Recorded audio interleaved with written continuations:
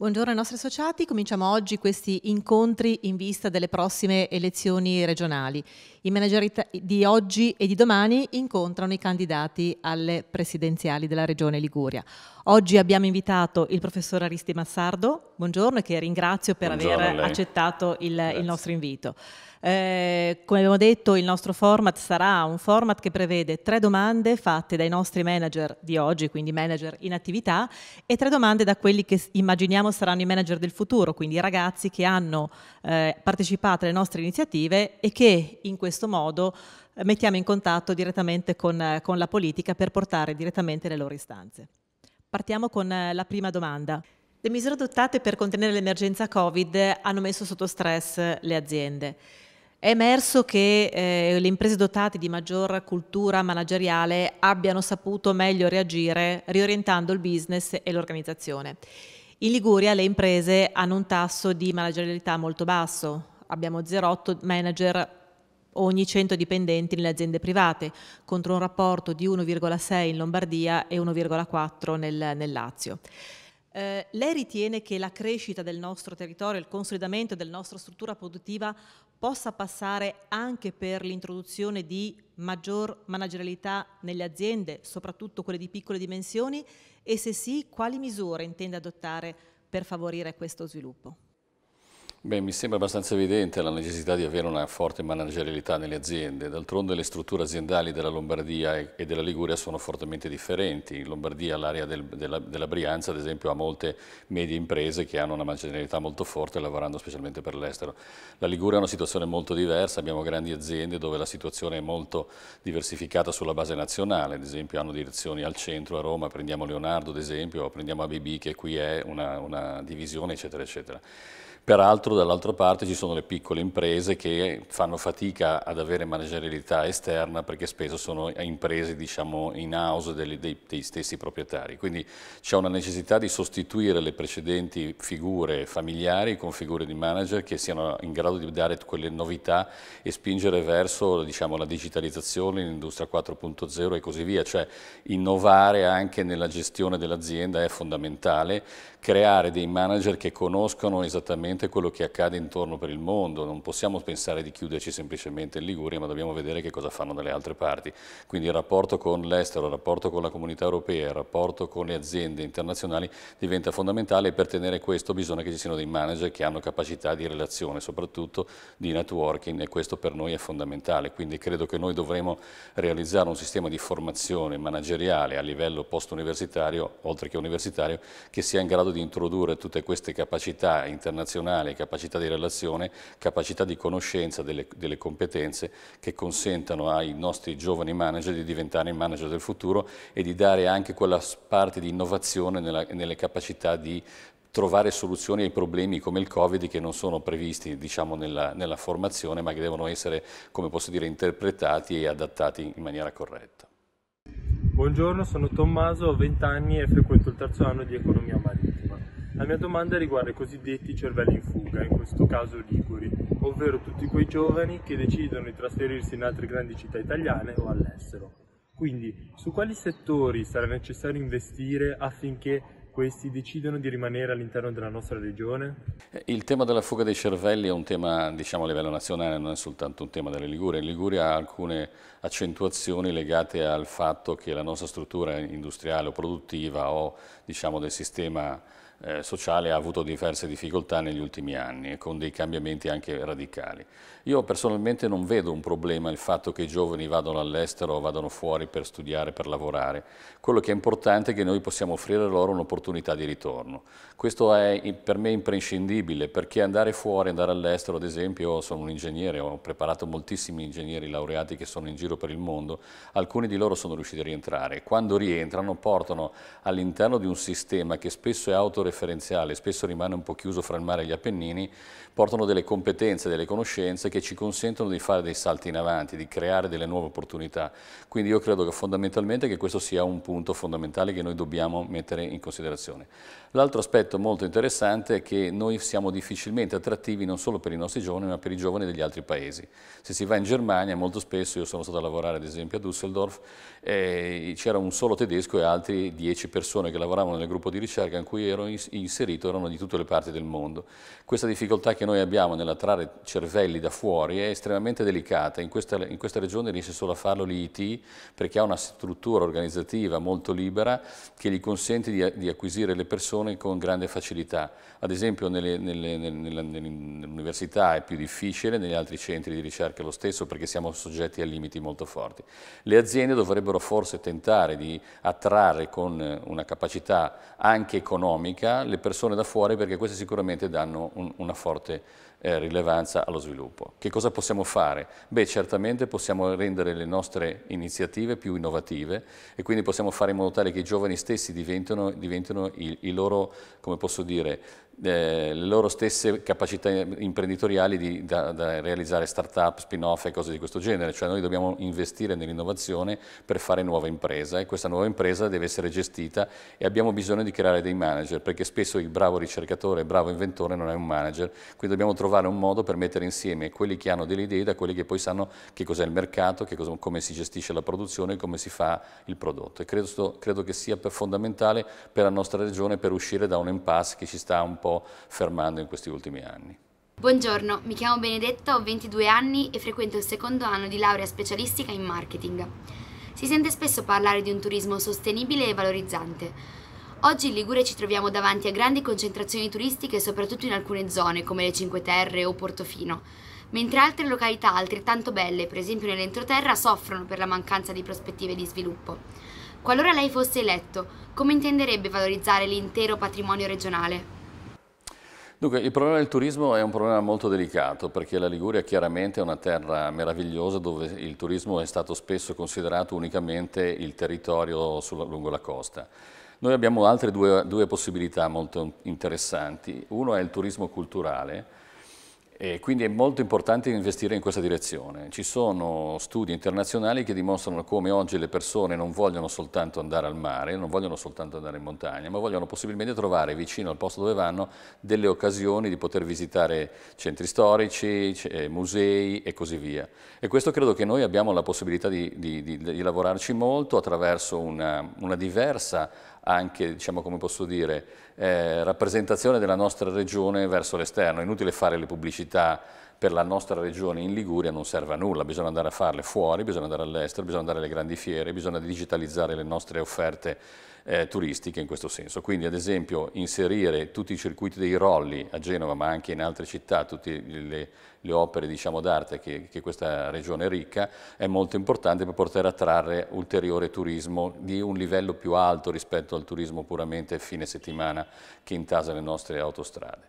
Dall'altra parte sul, sul, discorso dell'entroterra è un discorso molto importante perché se noi riusciamo a metterci in, collabora in collaborazione in connessione con il Basso Piemonte che sta realizzando e progettando tutta una serie di strade, di sentieri eh, nuovi che possono collegare da Cuneo sino al, al confine con l'Emilia Romagna e quindi a, alle nostre spalle. Possiamo mettere a contatto tutta la parte dell'Imperiese, così come la parte diciamo, del, di Spezia e così via. Questo diventa estremamente importante. L'entroterra deve essere sostanzialmente collegato alle sue caratteristiche di possibilità di trekking, possibilità di, di, di viaggiare in, in bicicletta e così via, ma anche dal punto di vista ad esempio dell'agroalimentare. Noi abbiamo una agroalimentare molto interessante con diverse caratteristiche nelle varie vallate e questo è poco diffuso verso l'esterno, anche se in alcune aree c'è una conoscenza e una presenza di, di turisti stranieri molto forte. Dobbiamo semplicemente insistere in questa capacità e fare sostanzialmente una proiezione un pochino più a lungo termine, non bastano le iniziative casuali fatte brevemente per poco tempo. Eh, le infrastrutture sono un nodo cruciale per poter parlare di crescita e sviluppo del nostro territorio. Quali sono le opere infrastrutturali che lei si impegna a realizzare durante il suo mandato? Beh, il tema delle infrastrutture è un tema critico per questa regione. C'è chi dice che siamo la regione più isolata d'Italia, anche peggio di Sicilia e Sardegna. Ora, da questo punto di vista noi non siamo un'isola, ma spesso lo siamo stati. L'inizio di questa mia avventura nasce subito dopo la frana sulla 6 nella quale io mi trovavo in autostrada e ho, ho, pensato effettivamente che la situazione fosse critica. La prima delle infrastrutture che bisogna realizzare è la manutenzione delle infrastrutture esistenti. Abbiamo visto che la mancata manutenzione ha portato probabilmente al crollo del Ponte Morandi, abbiamo avuto tutti i problemi delle, delle gallerie, abbiamo avuto i problemi degli altri viadotti. Perché queste cose? Perché non è stata fatta quella che viene fatta normalmente da tutti i manager che gestiscono un'attività industriale, la manutenzione delle, delle, delle, strutture, la manutenzione dei macchinari. Io mi occupo di motori d'aereo, i motori d'aereo sono, sono, fanno la manutenzione, noi rischiamo la vita anche più di quanto lo rischiamo normalmente in autostrada, è chiaro che questo è un punto fondamentale. Le infrastrutture esistenti devono essere fatte e, mantenute come si deve. Secondo punto, ci sono una quantità di infrastrutture che sono state pensate da 40-50 anni fa o a 30 anni fa che sono sempre ferme. Non parlo della Gronda, ma posso parlare dell'Aurelia Bis. L'Aurelia Bis è un problema che abbiamo a Spezia, Savona, Imperia. Ovunque abbiamo tratti che sono interrotti per quale motivo non è ancora capito. Allora da questo punto di vista bisogna prendere la decisione, fare dei piani operativi e, e, completare tutte queste opere. Non parlo del raddoppio ferroviario che è stato fatto a binario unico 150 anni fa, nel 1871, parlo del, della Pontremolese di cui sento dire da quando ero studente e così via. Ci sono il tunnel della Fontana Buona, basta semplicemente pensare. È chiaro che abbiamo anche alcune di queste opere che sono state inserite nei, nelle attività diciamo, di, in, più importanti da parte del governo, prendiamo la, diga, la, nuova grande diga forana del porto di Genova, che è un, è un elemento estremamente importante per dare una, un futuro quello che conta nelle, nelle, infrastrutture è un pensiero unico delle infrastrutture, non si possono fare pezzettini di infrastrutture, va fatto uno studio generale di quello che serve a questa regione e le infrastrutture non sono soltanto quelle fisiche, intese i ponti, le autostrade, le strade, ma sono soprattutto le, in questo momento anche le infrastrutture digitali, quindi abbiamo bisogno della banda larga in tutta la regione per poter far sì che l'entroterra di cui parlavamo precedentemente possa avere, offrire delle opportunità anche per chi fa smart working o per lavori nuovi in questo modo. Mi chiamo Cecilia, ho 18 anni e a settembre intraprenderò il corso di laurea di Scienze Tecniche e Psicologiche. Essendo il mio primo anno da votante, la mia domanda è perché il mio voto è così importante e in che modo la politica regionale influisce su quella nazionale. Beh, dire, dire perché è importante andare a votare mi sembra eh, quasi pleonastico. Noi siamo cittadini, chi, chi lascia agli altri le, le decisioni della scelta politica poi le subisce comunque, quindi non andare a votare secondo me è un errore. Se sei un giovane devi andare a votare e devi informarti su chi vai a votare, non devi andare a votare semplicemente perché lo devi fare, ma devi entrare nelle, nelle conoscenze, nelle competenze delle persone che si propongono, sia i candidati presidenti che i singoli candidati, perché ricordiamo che esistono due preferenze, una per ogni genere, quindi questa volta abbiamo anche questa differenza. Io credo che sia fondamentale perché il diritto di votare lo abbiamo acquisito alla fine di un lungo percorso molto doloroso che è durato nella seconda guerra mondiale, ma prima già durante il ventennio fascista, quindi il voto, stiamo seguendo quello che succede in Bielorussia, noi abbiamo ancora ancora una democrazia basata su un, un, un Parlamento, basata su un governo eletto eh, regolarmente dai cittadini. Questo è molto importante per me, quindi i giovani devono, devono considerare che questo è un loro diritto, ma è anche un dovere andare a votare. Per quanto, per quanto mi riguarda, credo che quello che può fare la Regione, lo avete visto, la Regione non ha fatto molte cose, è stata assente sulle infrastrutture, è stata assente sulla sanità, la sanità è fondamentale, la Regione spende i tre quarti del suo bilancio sulla sanità, avete visto quali sono le problematiche di relazione con il governo centrale sulle gestioni dell'emergenza Covid, quindi fa va fatta chiarezza su quali sono i compiti delle regioni, quali sono i compiti dello Stato e quali sono le attività concorrenti, perché questo è molto importante per la sicurezza e per la garanzia di vita dei cittadini. Noi abbiamo bisogno che la Regione sia forte, che abbia una visione e che possa andare a parlare col Governo dicendo quali sono le cose che vuole fare per i Liguri, non facendosi dettare l'agenda da altre regioni come sulla sanità dalla Lombardia, ovvero da, da un governo che ovviamente vede la Liguria, che ha solo un milione e mezzo di abitanti, come una regione periferica rispetto ad altre dove ci sono molte più persone, dove ci sono molti più interessi, dove ci sono molti più finanziamenti. Ci racconti in due minuti qual è la sua visione della Liguria e qual è la regione che si impegna a eh, lasciare al termine del suo mandato qualora eletto Presidente? Beh, intanto noi abbiamo una visione un po' diversa dal solito, cioè la nostra visione è almeno a dieci anni, non è una visione a cinque anni, perché non si può pensare di mettere a, diciamo, al lavoro un gruppo di persone dandogli un termine così breve. Cinque anni è un termine veramente breve, però noi vogliamo pensare a dieci anni. Poi chi verrà eventualmente dopo di noi potrà modificarlo. Nostra, il nostro obiettivo è quello di partire dall'Agenda 2030 dell'ONU sulla sostenibilità, che io intendo sostenibilità sociale, sostenibilità economica, sostenibilità energetica, i, i, i, 17 punti, in realtà sono 16, il 17 è l'insieme coordinato dei, dei, 16 precedenti, diventa il nostro obiettivo, per cui pensiamo di, di mettere in piedi subito un ufficio che verifichi lo stato dell'applicazione di questa Agenda 2030, che è molto importante perché è l'agenda della sostenibilità, quindi io vorrei portare questa regione a diventare una regione del mondo, non possiamo vivere in una regione in cui si, si trascura tutto quello che avviene intorno a noi, noi non, non siamo in contatto con quello che avviene nelle altre nazioni, non siamo in contatto con le, con, le, con le, nuove direttive europee del Green New Deal, cioè del nuovo, del nuovo obiettivo verde della, della, comunità europea. Ci sono un sacco di finanziamenti che possono arrivare, quindi la sostenibilità è un termine importante, è una sostenibilità che deve essere nelle persone, ma deve essere delle aziende.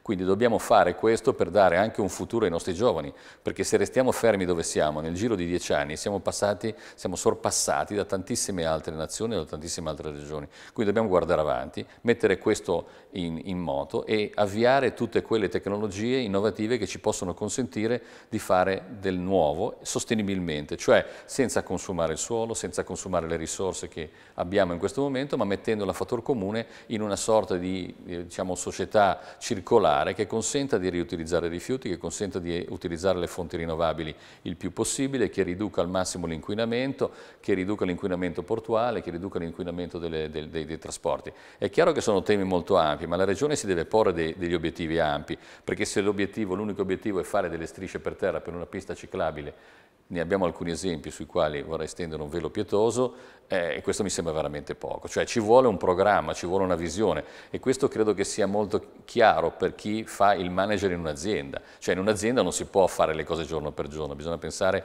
in termini più ampi nel tempo, creare dei diagrammi di Gantt, come li vogliamo chiamare, e da questo punto di vista noi abbiamo bisogno di farlo anche in regione. Cioè le opere devono essere fatte, le strutture devono essere fatte in maniera sostenibile, ma devono essere previste e devono avere tempi certi di realizzazione, cosa che mi sembra che in questa nazione in questa regione non sia assolutamente possibile ad oggi. Professor Massardo, la ringrazio per, per questo incontro, sicuramente utile per comprendere quale sarà la sua visione di Liguria e quindi orientare anche i nostri manager in una scelta consapevole. Grazie. La, vi ringrazio lei e l'associazione per avermi invitato, avermi dato la possibilità di dire le cose che penso possono interessare sia i vostri manager che i giovani ai quali auguro un grande futuro.